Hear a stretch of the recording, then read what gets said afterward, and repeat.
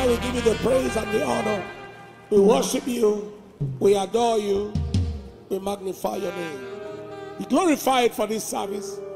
Thank you and thank you and thank you. Bless someone tonight, today, with your word. In Jesus' precious name. Amen. Give the Lord the praise. Take your seat. And when you do your modification, don't forget the original line. Right? Give the Lord a big clap of hand as you take your seat. Oh Lord our God reign. In heaven our God reign. And below in the sea. The Lord most high God reign. The Lord our God reigns. In heaven our God reigns. On earth below and in the seas. The Lord most high God reigns. In might, he reigns. In the glory of his majesty, he reigns.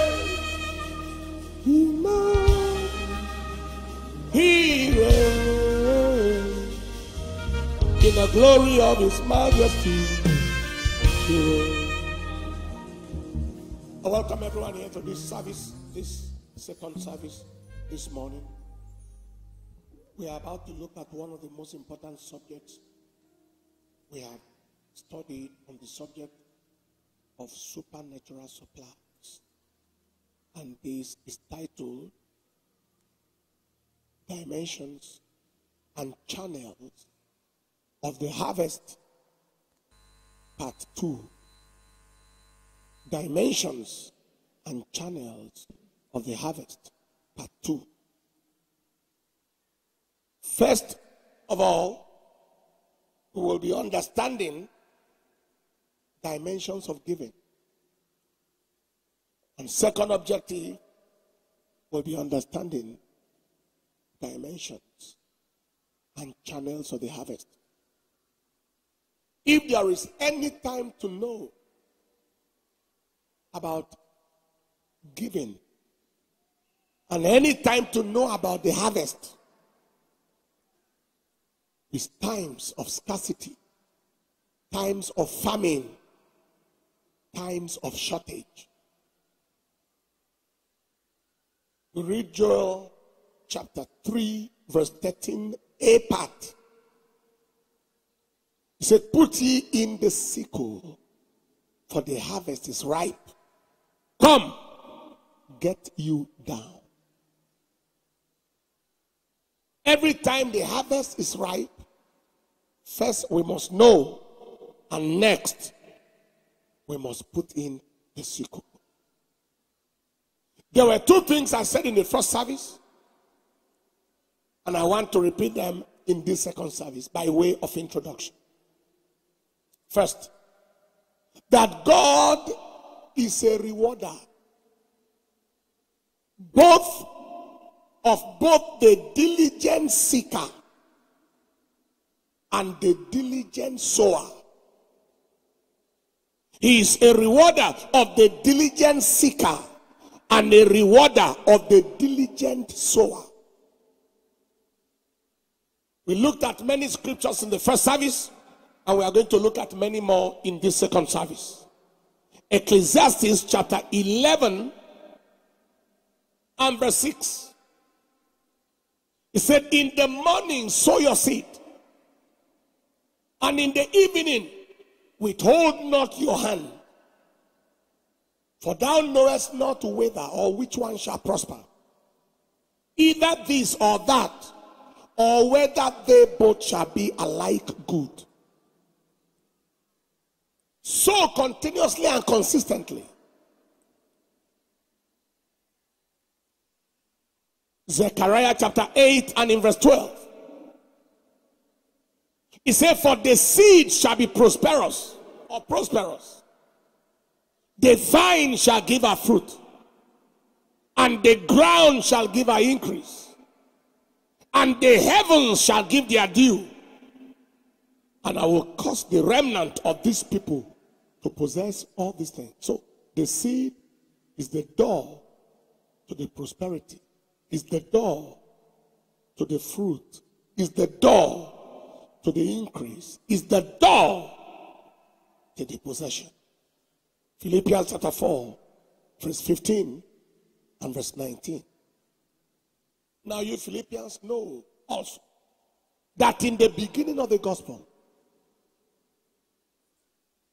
when I departed from Macedonia, no church communicated with me as concerning giving and receiving, but you only. So it is giving and receiving. Not giving and giving, is giving and receiving. Verse 19. But my God shall supply all your need according to his riches in glory. God is committed, He's a rewarder of the diligent sower. Luke chapter 6, verse 38. Father, he said, Give, and it shall be given unto you. Good measure, pressed down and shaking together and running over, shall men give into your bosom. For with the same measure that he mete withal, it shall be measured to you again. Give. God is a rewarder of both the diligent seeker and the diligent sower. Second, we said it is not only important to be a good sower, it is vital to be a good reaper. We saw already the Joel chapter 3, verse 13a. And then Isaiah chapter 9, verse 3a. Thou hast multiplied the nation and not increased the joy. The joy before thee, according to joy in the harvest, and as men rejoice when they divide the spoil. It's important to understand harvest and to understand when to receive when the harvest arrives. Somebody here, your harvest shall not elude you. If you believe that, say loud, amen. So, very, very quickly, we shall look at two things.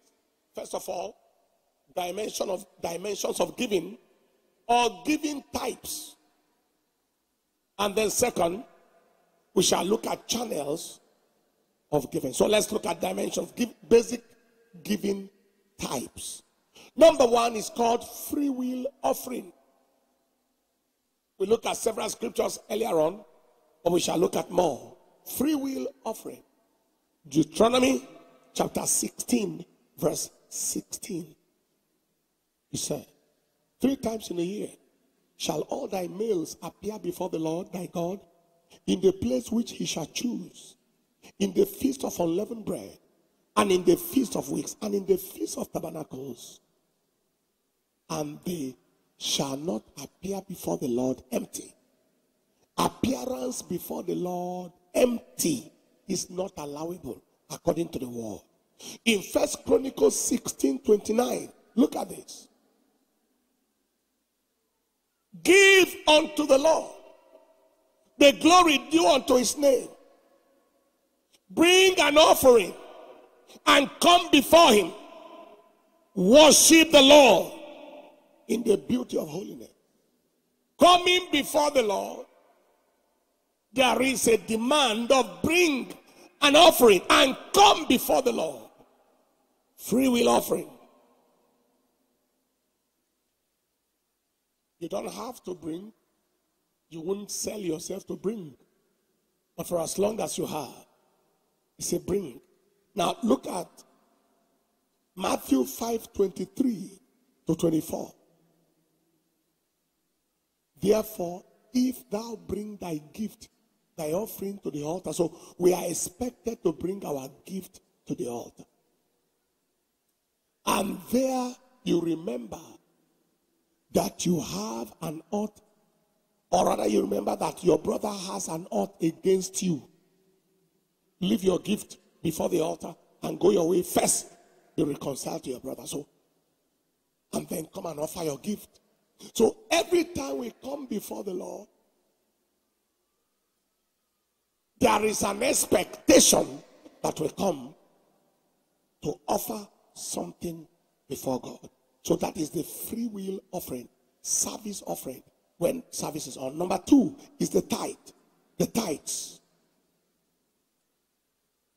Leviticus chapter 27, verse 30. Leviticus chapter 27 and verse 30. We are looking at extra scriptures that we never saw in the first service. And all the tithe of the land, whether of the seed of the land or of the f- fruit of the tree, is the Lord's. It is holy unto the Lord. All the tithe of land. All. Matthew chapter 23 and in verse 23. In case somebody said, This is Old Testament. He said, Woe unto you, scribes and Pharisees, hypocrites. For you pay tithe of mint and anise and cumin and have omitted weightier matters of the law, judgment, mercy, and faith. This ought ye to have done and not leave the other undone. You Pharisees, you are so particular about tithing, but you don't have mercy on people. You don't even use common judgment. And you are not walking in the faith. I am not saying don't pay your tithe. But do this one, then do that one. Somebody say amen. If you look at the New Living Translation of the same or the Living Bible, if you have it, you can place on the screen for us. There's a way it puts it.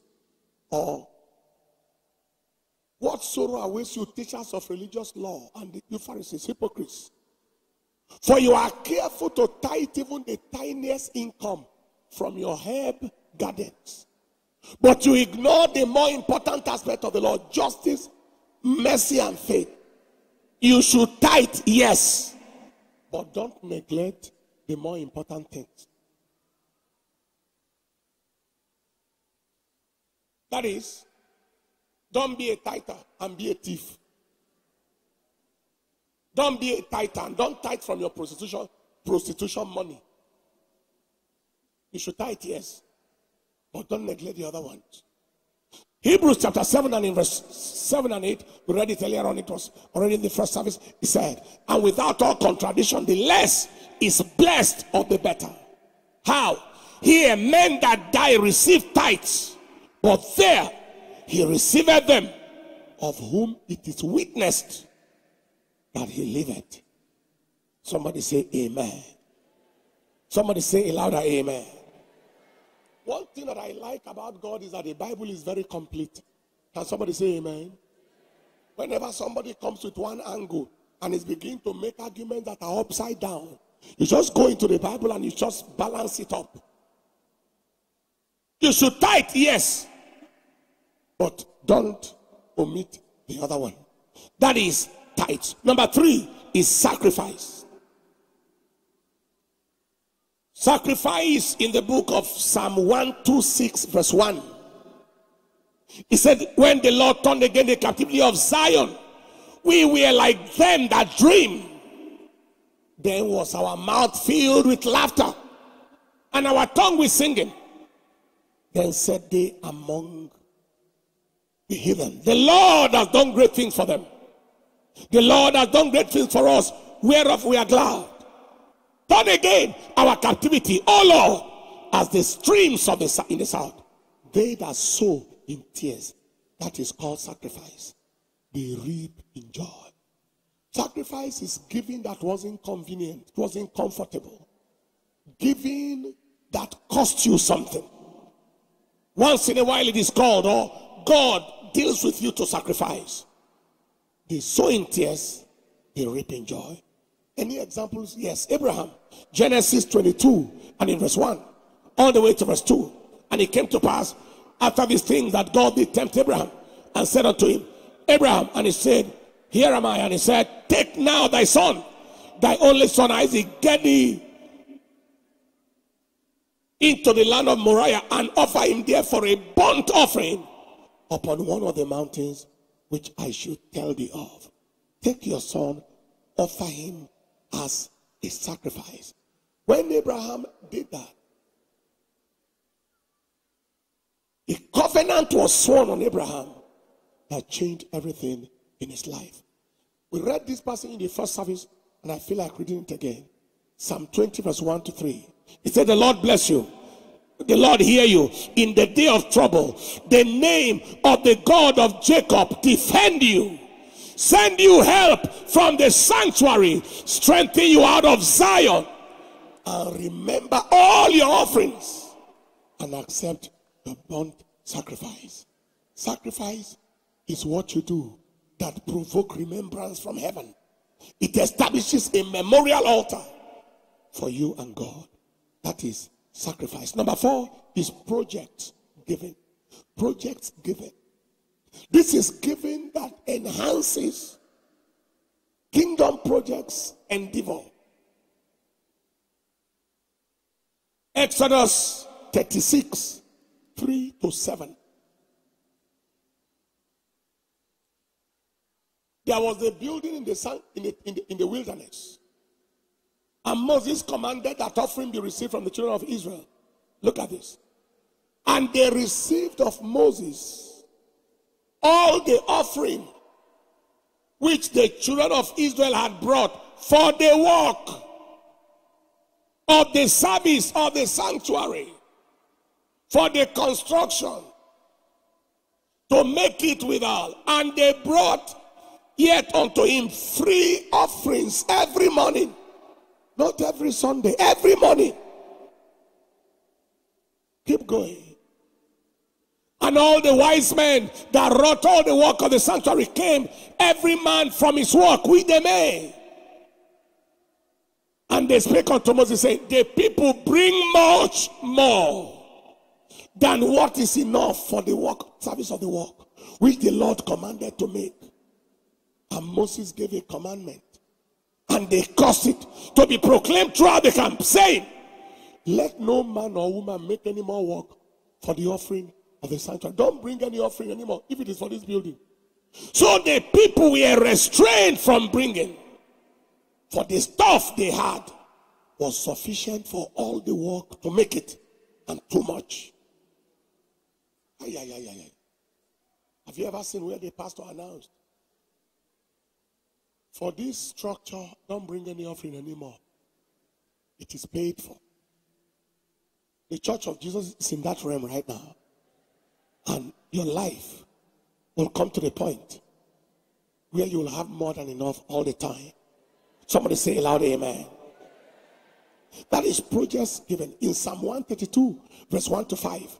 See what David the psalmist said Lord, remember David and all his afflictions how he swore unto the Lord and vowed unto the mighty God of Jacob.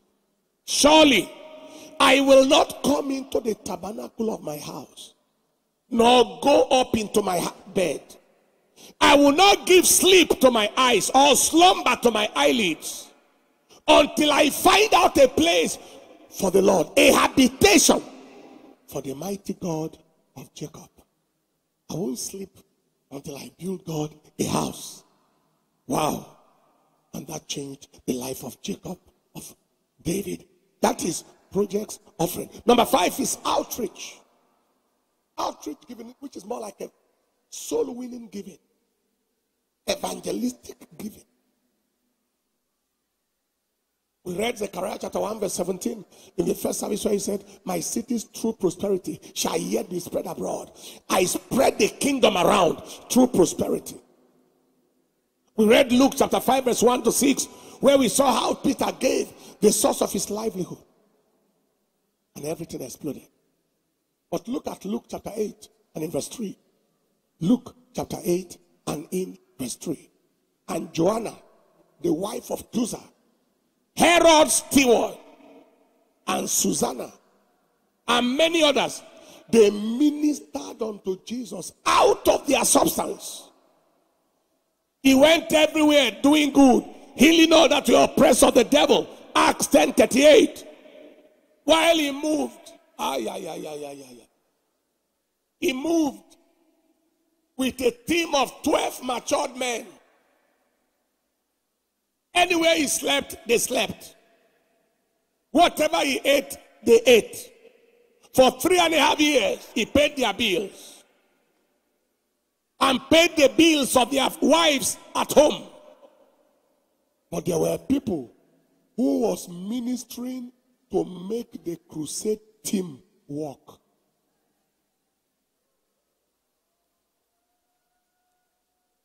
People thought that, people thought, see, Jesus multiplied bread, five loaves and two fishes for 12,000 in performance of miracle. But when, it, when they needed to eat, they bought food. Judas was the, was the treasurer. When he told Judas what that was, do it fast. He said some people thought that he was asking him to go and buy things because they were, they were buying things. When he said, feed these people, he said, where shall we find bread enough to buy? So there was money to handle the team of people that went on assignment. And there were people who made money available. Somebody say amen. I, I see there are people rising out of here that God will use to make major things to happen. If you are among such people, you say loud amen. If you are among such people, you shout the loudest amen. We have had crusades before. Port Harcourt Crusade, they just showed us the clip. You have the clip of the Port Harcourt Crusade. Last week, and it was, it was hell. One person made a, request. What is the cost of the crusade? It was given to him millions. Not 10, not 20, not 30. That's per crusade. And that was written off in one check handled. That is outreach giving.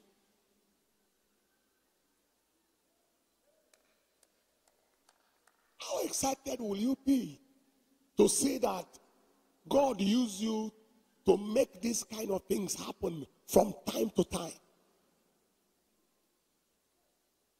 Cameroon Crusade. I don't know if they have a clip. Someone said, What is the cost of that crusade? Why are the amount. And that person said, I want to be part of Cameroon Crusade. We said, Cameroon Crusade has already been paid for.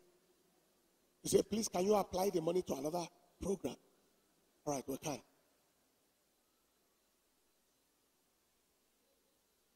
Did you hear that? The Cameroon Crusade has already been paid for. All right, let the money be directed to any other outreach. All right, that is done. Because we need to let you know.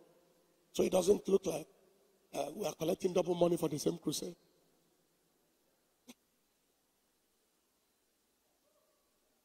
Hallelujah. The crusade you say you want to pay for, somebody has already paid for it. Okay, I'll still release my own. Any other program, let it be done. Do you understand what I'm saying? There are people here in a short while to come. The Lord will put enough resources in your hands and is beginning right now to do things that many people should have done. Only you will take it up and get it done. Shout the loudest, Amen. That is outreach giving. The same way they were giving towards Paul's outreach in Philippians chapter 4, verse 15, all the way to verse 19. Now, you Philippians know also that in the beginning of the gospel, when I departed from Macedonia, no church commit. This is in, the beginning of the gospel, he's talking about when I started preaching and ministering and going on outreach. No church communicated with me as concerning giving and receiving, but you only. For even in Thessalonica, you remember the outreach in Thessalonica? You sent once and again unto my necessity, not that I desire a gift, but I desire fruit that may abound to your account.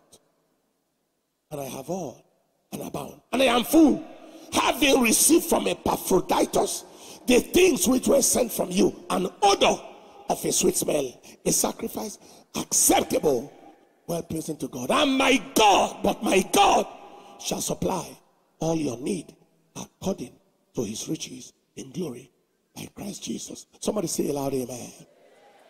That is outreach giving to give towards the crusade. Number six is less, less privileged giving. Giving to, to the poor, giving for charity, giving orphans, giving school fees, medical bill, the kind of things that people are stranded, they can't do things for themselves. And giving towards this is a kingdom financial practice that changes stories. Proverbs 22 and in verse 9. We had scriptures already written, but Proverbs 22 verse 9 say, He that has a bountiful eye shall be blessed, for he giveth of his bread to the poor. A generous man shall be blessed because he does not allow the poor to remain in poverty. Proverbs 28 and in verse 27. 28 and in verse 27. He that giveth unto the poor shall not lack. But he that hideth his eye shall have many acres. To give it to the poor, he shall not lack. In givings to those who are in need among us, like I said in the first service, every month we minister to the needs of the needy. And I think in this kind of scarcity now, I don't know how we're going to go about it, but there are people who go home and don't even have physical food to eat. In a short while from now, we should be able to have, whether it is raw or cooked food at the end of service, maybe, maybe raw. For those who, look, if I go home now, nothing to eat, and then be able to minister to people on that frequency. But on a monthly basis, we are empowering people, tailoring, baking, hairdress salon, all manner, every single man. This is less privileged giving. That's number six. Number seven is priest, priestly or prophet given. Priestly or prophetic or prophets given.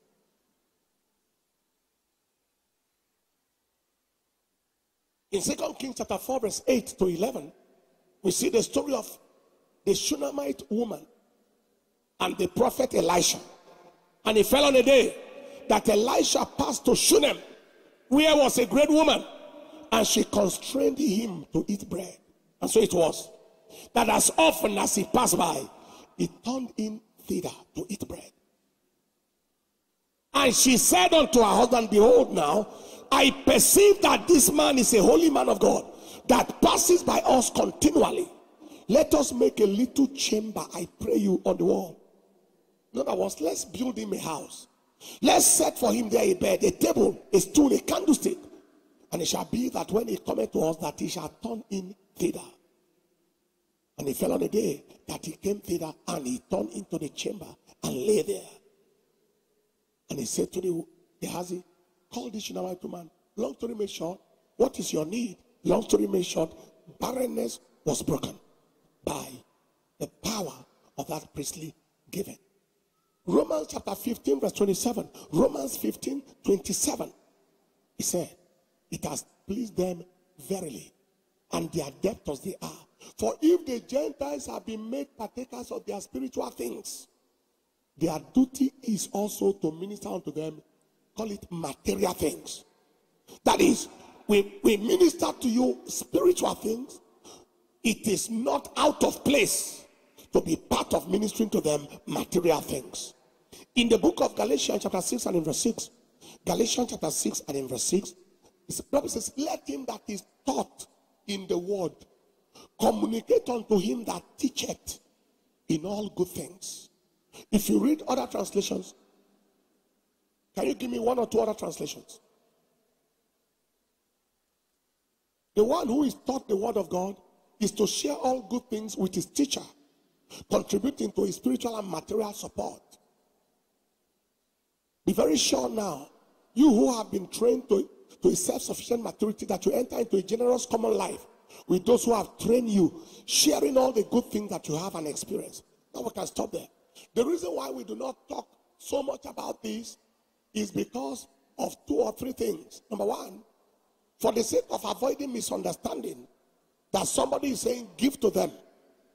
Number two, for the sake of avoiding abuses, where people step out and begin to put people under pressure of giving to them. Please, I want to make it clear that this is a voluntary act. It is not an act that is to be done under pressure or duress. In Second Corinthians chapter 9 and in verse 7, he said, Every man according as he purposed, not according to how he was manipulated. According as he purposed, not according as he was cajoled. So let him give, not grudgingly, not under pressure or of necessity, for God loveth a cheerful gift. There are people when they pick a phone, pastor, preacher, whatever, to call people, the, people are under pressure. Because it's another call to beg for something. It's another call to ask for something. Can I use your car? Can I help me? Can you take me to this, this and that? This is an abuse of office. Am I communicating? And I'm saying this now so that everybody can hear. Don't for any reason put anybody under pressure and don't let nobody put you under the pressure of release out of your volition as God puts in your heart, commensurate to the blessing that is being released on your life. That is how it happens. Somebody say a loud amen. Somebody say a loud amen. Nobody may stand up one day and say, I am pastor. That's my account number on the screen. In case you need to give me anything, do that. That is an abuse. That is an abuse. I was a giver for so many years to my father and the Lord. Over 20 something years. Every time I gave a tithe, I gave a prophet's offering. The same percentage. 20 something years. And then the time came when he said, you know what? The rate and the way at which you are giving, you might need an account to make it easy for you. Yes, sir. Because I didn't know how to ask. Do you understand what I'm saying? So I want to make this point clear, and I am happy because we are all connected and we are hearing so that there is no such abuse. And anywhere you go, anywhere, and somebody say, you know what, I am prophet, and I prophesy to you now. The Lord says He wants to change your level, but He says you should change the document of your house and give it to me. You look at him and say, The Lord said I shouldn't give you. the Lord has not spoken. And if he has spoken, I have not heard. And if he has spoken, may he speak directly to me. Somebody say loud amen. Or the Lord says you should give me your, your car. Or the Lord says you should remind me, remember me every month. I believe that that is clear. I decree upon somebody here today an open heavens is your portion. Open heavens is your portion. Open heavens is your portion. Finally, there is one more giving that is, well, call it the first fruit giving. We saw the first fruit first in the operation of Cain and Abel. In Genesis chapter 4, verse 4, the Bible said, And Abel, if you start from verse 3, and in the process of time, it came to pass that Cain brought off the fruit of the ground an offering to the Lord. Out of. But Abel, he also brought off the firstlings of his flock and the fat thereof. The, a major difference between Cain and Abel is that Abel brought anything he could lay his hands on out of. Sorry, Cain brought anything he could lay his hands on out of the ground. But Abel brought the first one, the first one, the first one, the firstling of his flock, the first one. My, my goat is delivering This is the first one that was born. Lord, I give you my sheep, my this and that. And then God accepted his offering and refused to accept the offering of Cain. In Proverbs 3 9 and 10, we read that in the first service. The Bible said, Honor the Lord with thy substance and with the first fruits of all thine increase. So shall thy barns be filled with plenty, and thy presses shall burst out with new wine. It may be that this is the first profit that enters my hand. Lord, I give it to you. This is my first income. Lord, I give it to you. Or this is my first increase. My salary was 70,000 before. Now it is 100,000. The increase in is 30,000. Lord, I hand it over to you. This is that first increase. Ah, in order to open the heavens over what I am doing. I prophesy to somebody here. It's a new day for you. Say a louder amen. Say the loudest amen.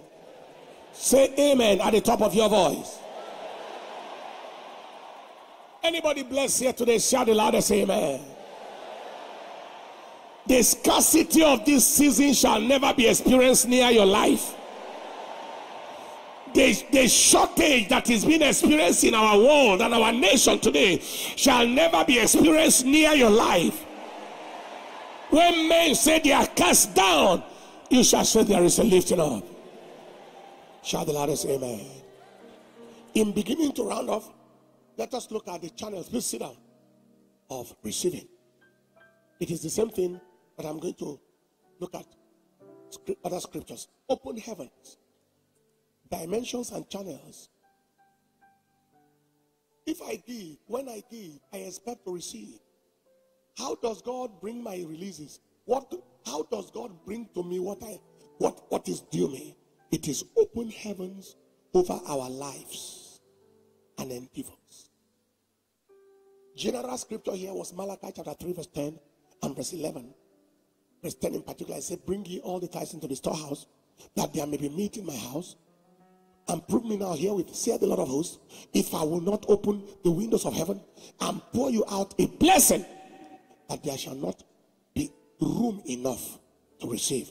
So he opens the heavens. And in the first service, I was defining the open heavens.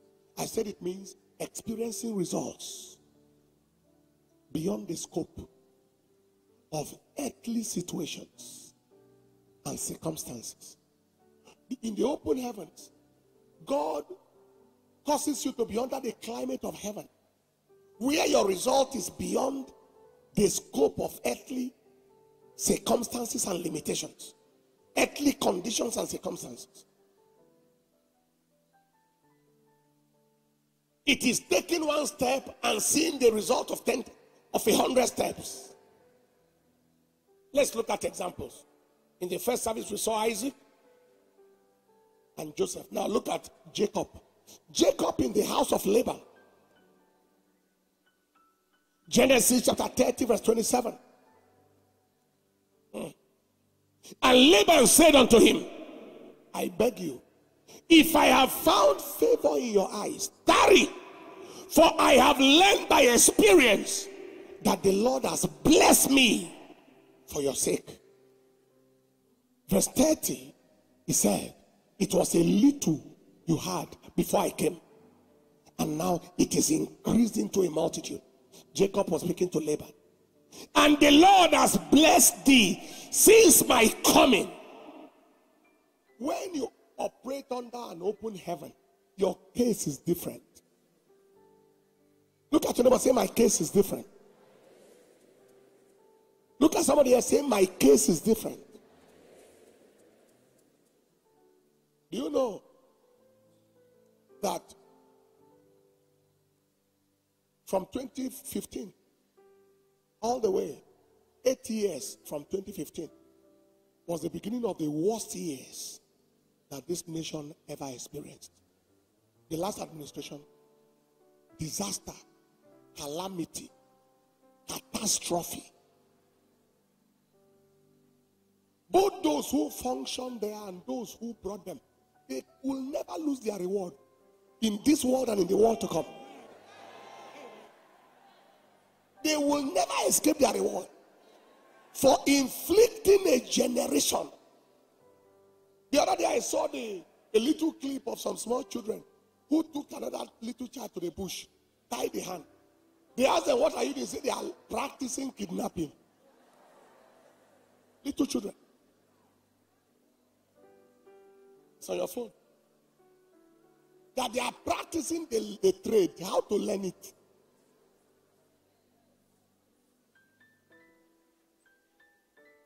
That is disaster, security disaster, educational disaster, economy, everything disastrous.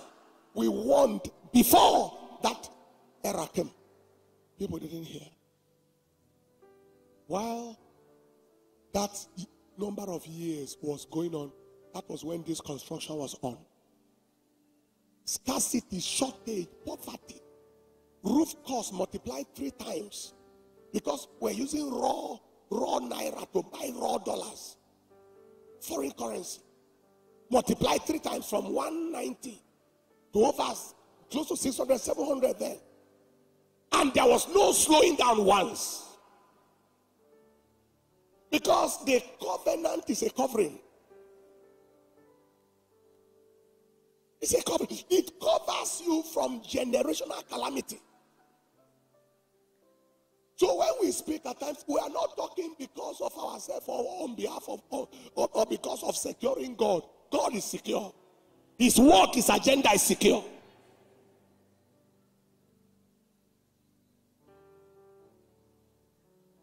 You heard what I said? All those people who brought this calamity to this nation, both the operators and those who in this world and in the world to come, they will lose their reward.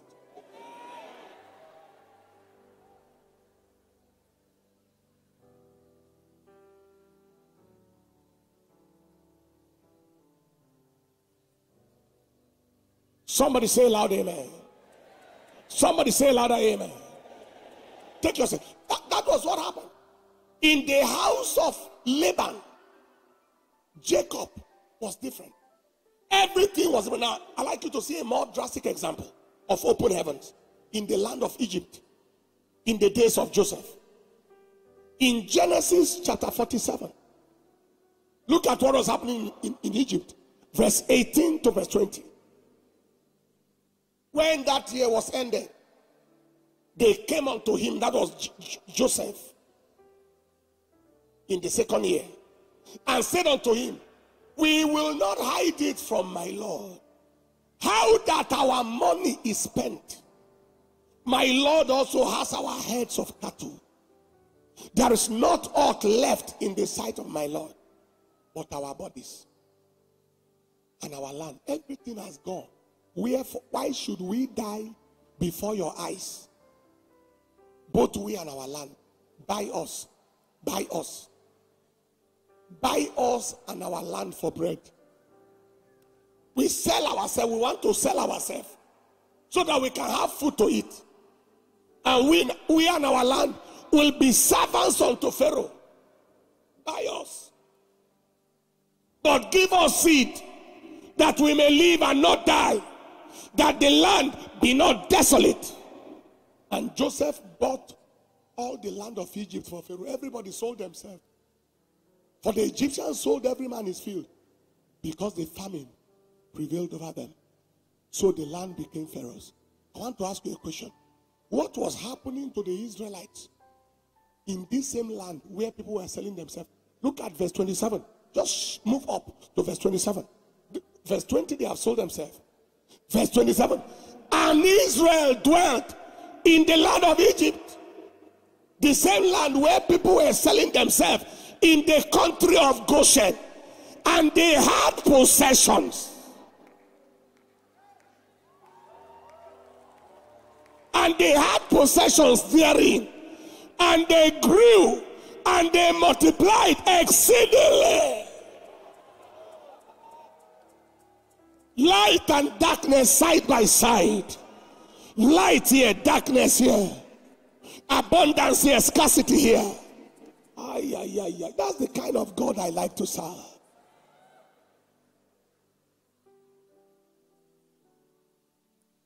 In the land of Egypt, while they were selling their bodies for food, selling their lands, there were some people exploding in possession, exploding in supplies.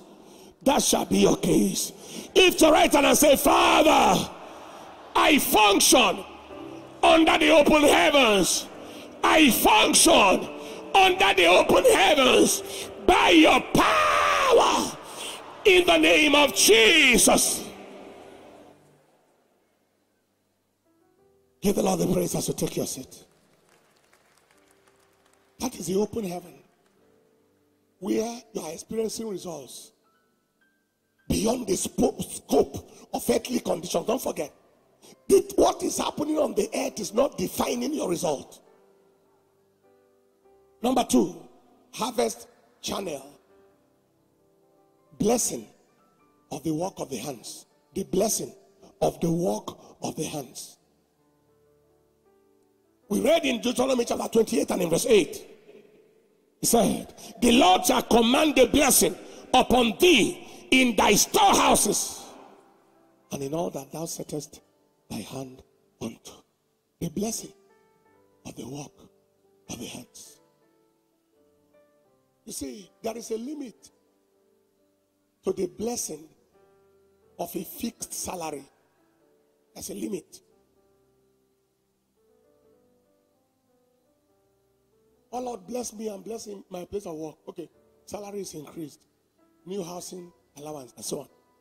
But once it, it is to come to explosion, there must be a work of hand.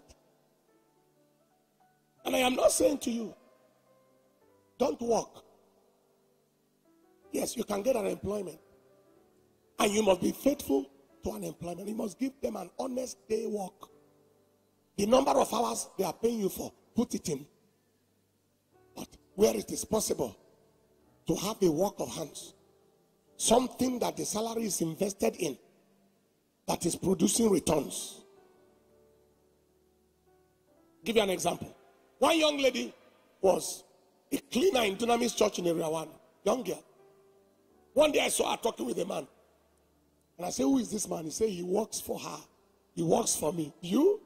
You are cleaning here and somebody is working for you. Yes. What work? He said, He sells recharge, recharge cards for me and I pay him commission. But a wise little girl. Do you understand what I'm saying? That was what happened to Peter in the book of Luke, chapter 5. We saw the story of Peter when Peter toiled all night. When God wanted to bless him in verse 4 to verse 6, launch your net into the deep for a drought. And when he had this done, he en- enclosed a great multitude of fishes, and his net break. Don't ever forget this that the blessing of God is looking for the work of your hands. Somebody say amen. One of our brethren here said to me the other day, he said, Sir, I started what this thing after I heard one preaching. I can't remember the, the particular preaching, but it may be in the I can't remember the particular preaching, but I've seen another person told me, he said, You said, do what you find until you find what you want. Because whatsoever your hand findeth to do, do it with all your might. So do what you find until you find what you need. So she began to do something she found. She said the thing is so blessed. She said some days I make up hundred thousand. One day. That is what people wait for to receive at the end of the month. Some days. The blessing of the Lord is in search of the work of the hands. I announce to somebody here today your harvest will locate you in the work of your hands. Number three, divine ideas, inspiration, wisdom. Your harvest can come with one idea. God gives you a wisdom, gives you an idea, gives you an inspiration that turns you into a multi billionaire. One wisdom, one idea.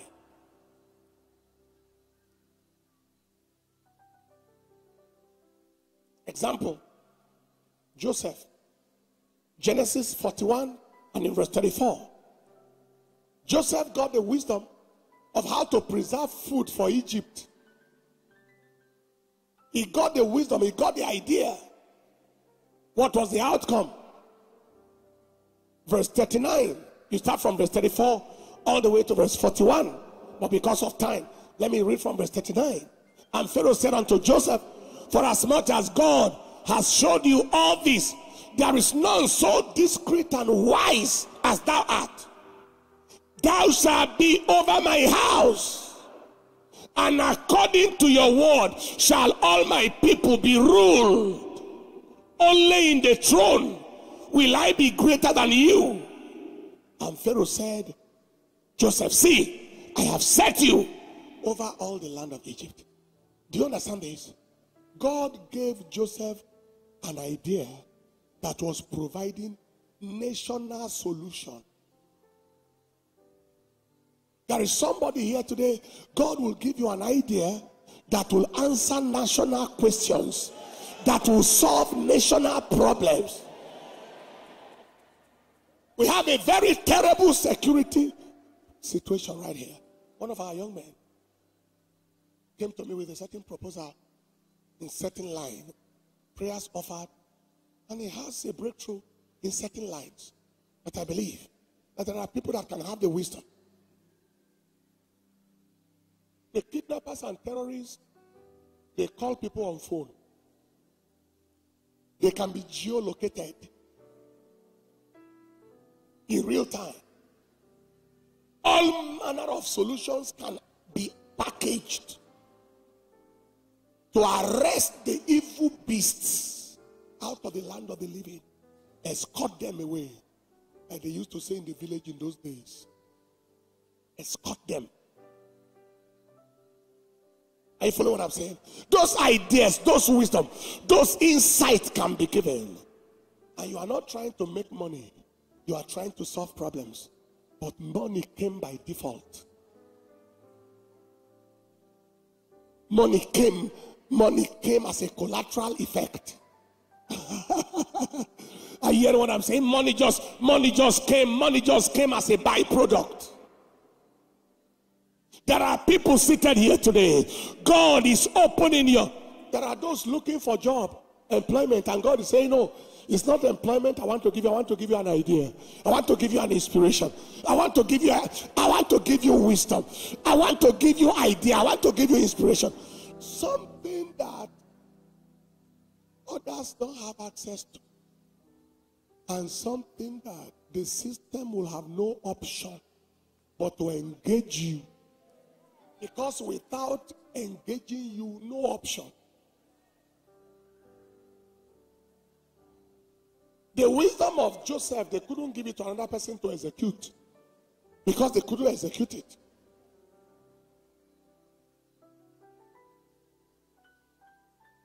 Somebody, if somebody wrote JAMB for you and they gave you medicine,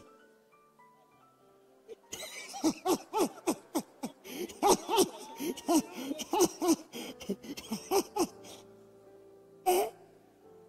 go and handle pharmacology, let's see. And go and trace the cause of the ulnar nerve.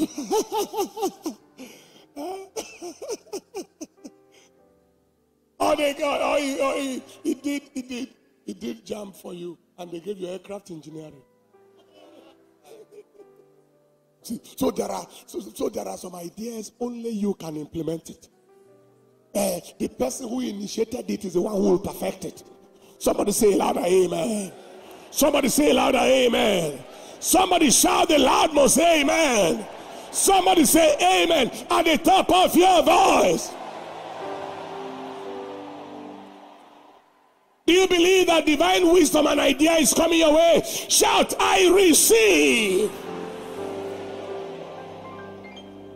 One idea set Joseph over a whole nation. A whole nation. One idea, one inspiration over a whole nation. Take your seat.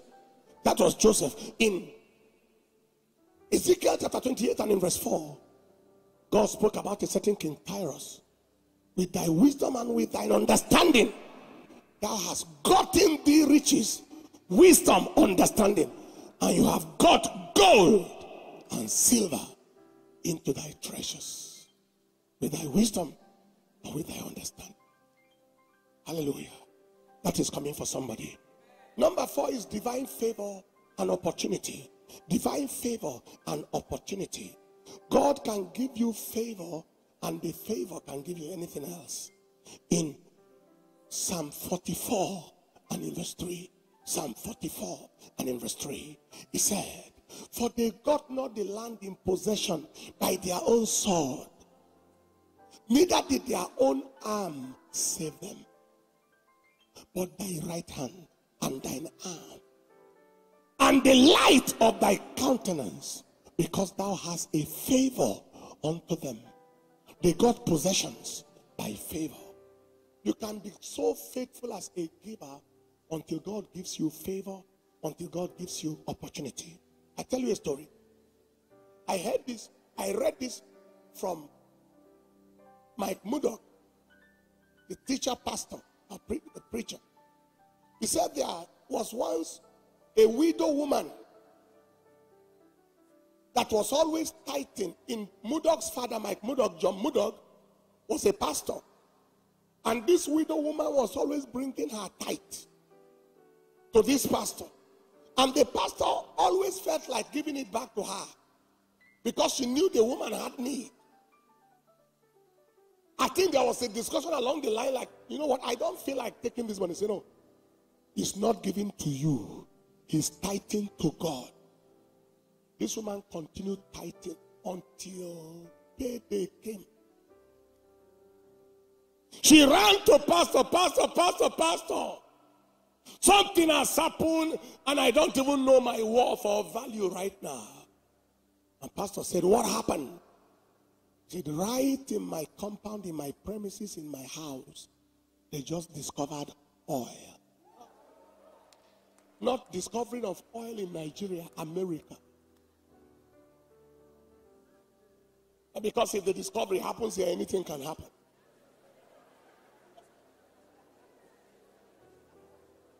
Uh, anything can happen. I don't know my worth now. I don't know my value now. I don't know what I'm even worth. That is where, when you have it, you have it. If it is yours, it is yours. If it belongs to your father, it belongs to your father.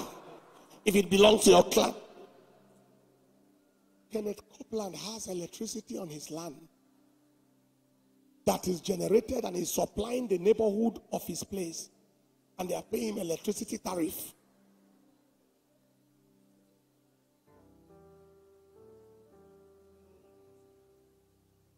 There, if you have it, that is what God does.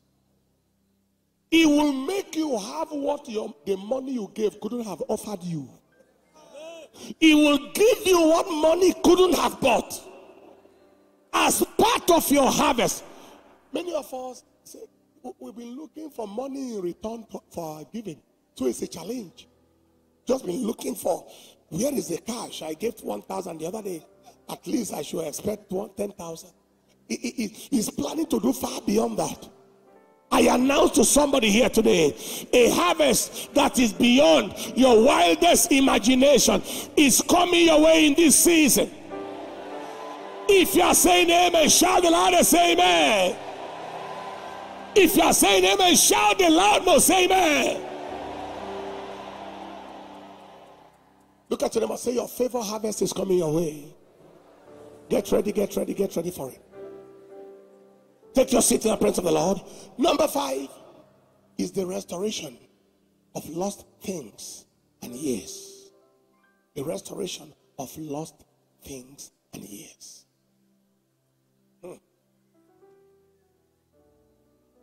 We read earlier on in the first service in Joel chapter 2, verse 25. He said, And I will restore to you the years that the, the locust has eaten, the cankerworm and the caterpillar and the palmer worm, my great army which I sent among you. Hallelujah. But I want to read, read a story to you that shows very, very clearly the impact of restoration as harvest. Look at Second Kings chapter 8, verse 1. I will read all the way to verse 6. It is the story of the Shunammite woman.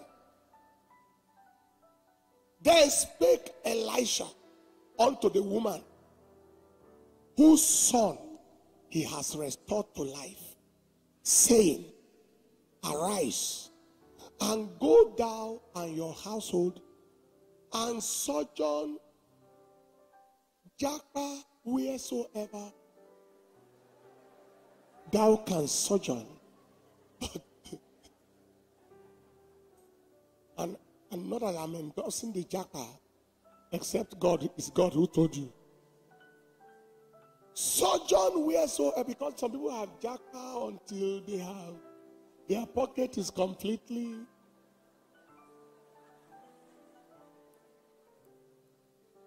wherever you can sojourn. For the Lord has called for a famine, and it shall come upon this land seven years. In that verse 1 alone, you see the profit of the covenant. This woman was giving food to the prophet, built him a house. By that building, profit number one, reproach of barrenness was wiped out, son was born. Profit number two, that son that died, that was born, died. And the power brought the son back to life. That's profit number two. Profit number three, there was calamity coming. The covenant brought forth direction.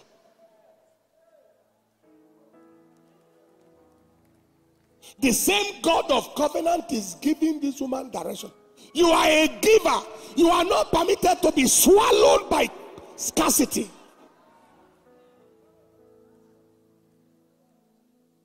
God good oh, and God day. He day, he over there sir. God good, God day. Who pass God no day. Listen, three advantage. Now let's keep reading. There are more coming. And the woman arose and did after the saying of the man of God, and she went with her household and sojourned in the land of the Philistines seven years. That is,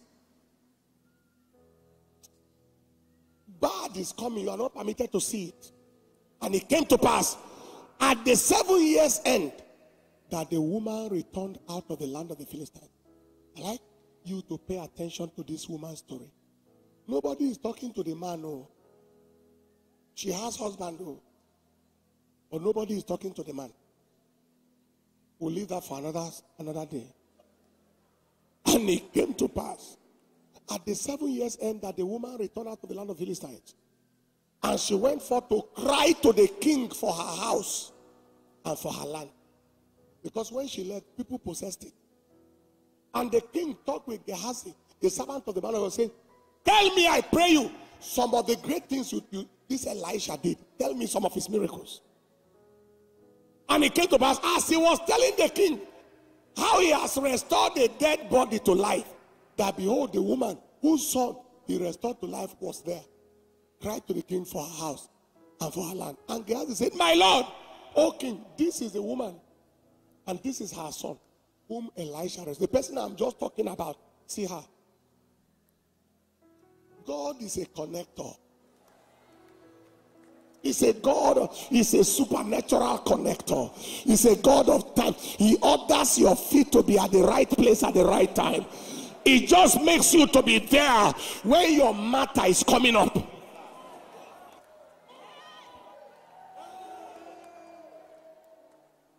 When the king asked the woman, she told him, Yes, this is the boy.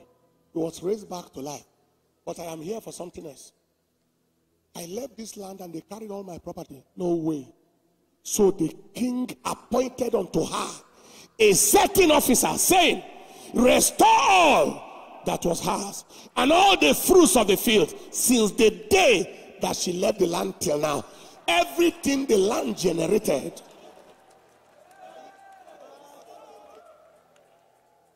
Give her return on investment for seven years. Pay her the arrears of her money. Allah, Allah, this is the kind of God I like to serve. And what happened? And it was restored. this is a major department of the covenant. You are not, you can't be a giver and be a loser at the same time. No devil is permitted to inherit what is yours in God. Dimension and channel of the harvest is the restoration of lost things, restoration of lost years. And number seven is divine orchestration and transfer of resources. I have another passage to read for this service, but because of how beautiful this passage is, I want us to read it again. Deuteronomy chapter 6, verse 10 to verse 12.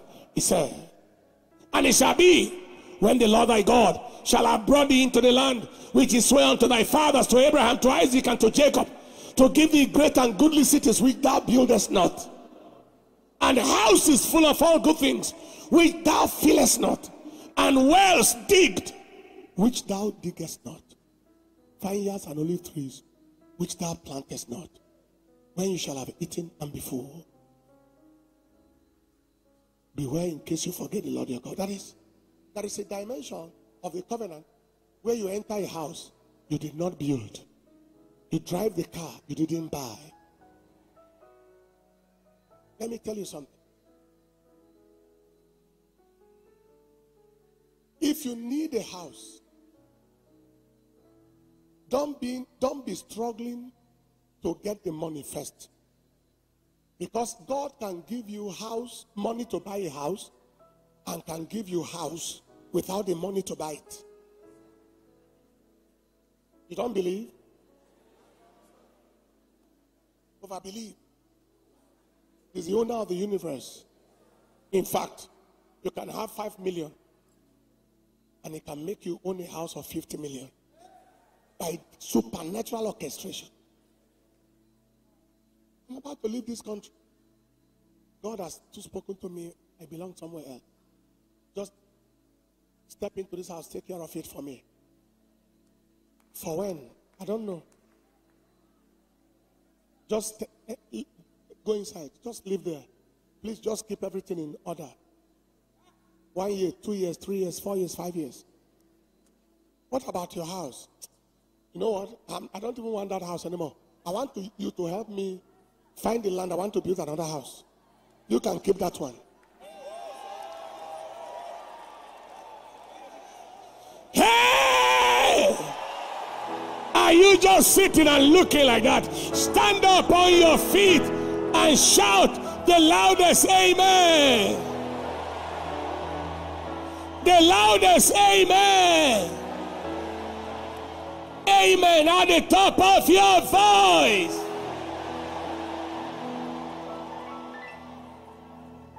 Remain standing in the presence of the Lord. My wife and I, we have experienced order of things that are not normal.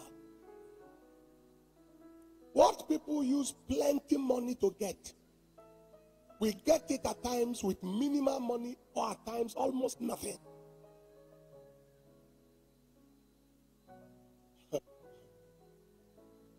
in, in time to come, we may be able to share some testimonies.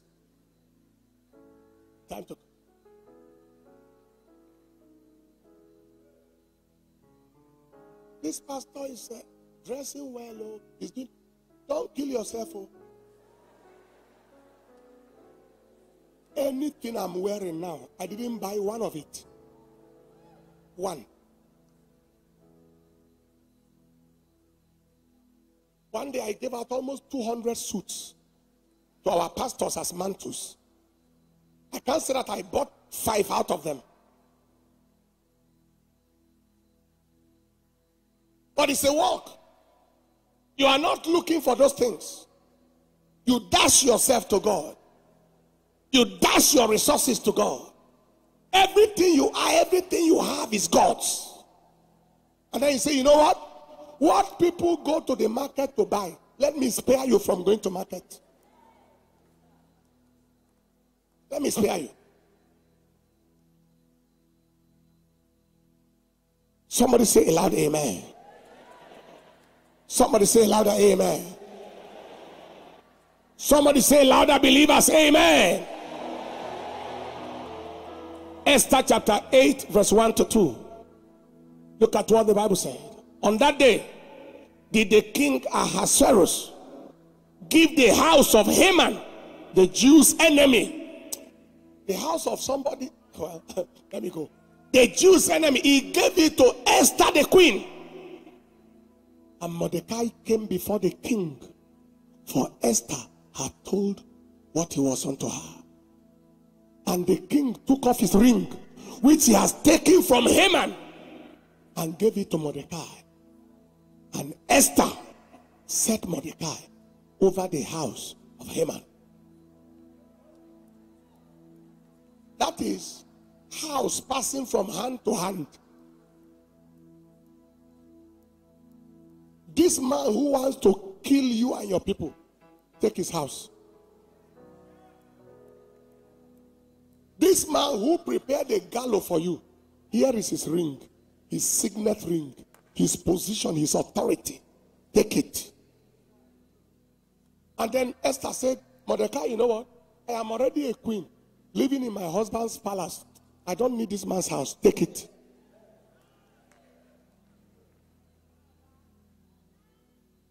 God orchestrating. Don't forget who Mordecai was. Security man at the gate. He's now prime minister. He's now the occupant. In presidential villa, house number two.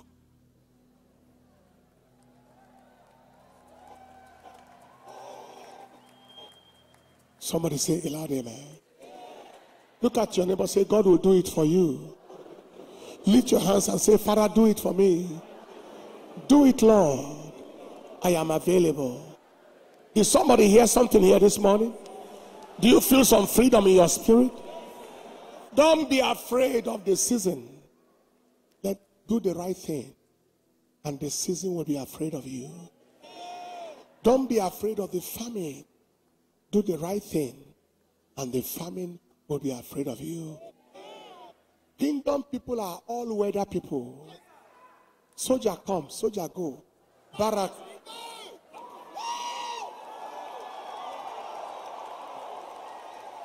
We are not movable, we are not hotable, we are not harmable by climate. We don't, we are not, our life is not determined by the environment. We carry our own environment. When Israel came out of Egypt, they were not part of the wilderness. They were in the wilderness, but not of the wilderness. Because there was a pillar of cloud by day that shielded them from the sun, and a pillar of fire by night that gave them heat and light in the cold night. So they were passing through a wilderness and they couldn't feel the wilderness because they carried their climate. The covenant is a climate you carry.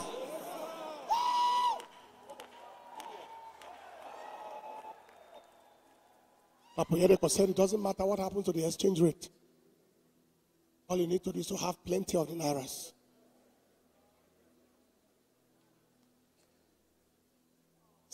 You know, he's very rugged. We can talk with some small diplomacy at times, but his own is bam. If you want, accept. If you want, be angry. Praise the Lord. Praise the Lord. You will not sink in this system.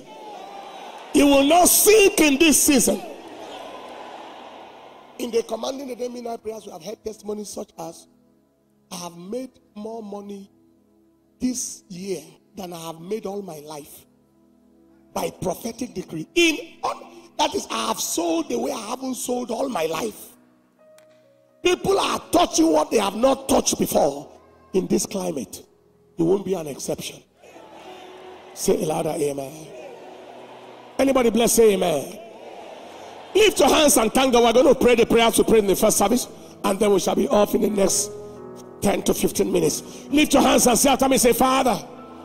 Say it louder, say, Father. Father, Thank you, thank you for your word, for your goodness, for your faithfulness, and your mercies. Be glorified.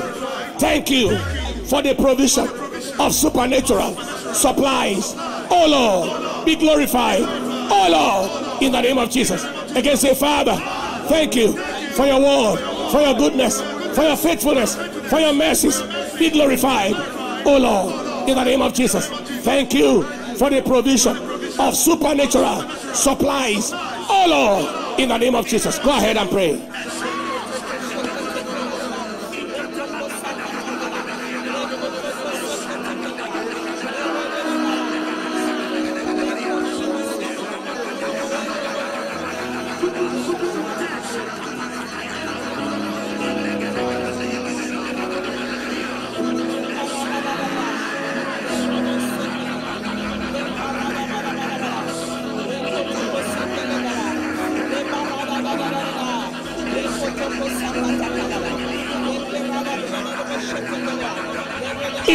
Jesus' precious name.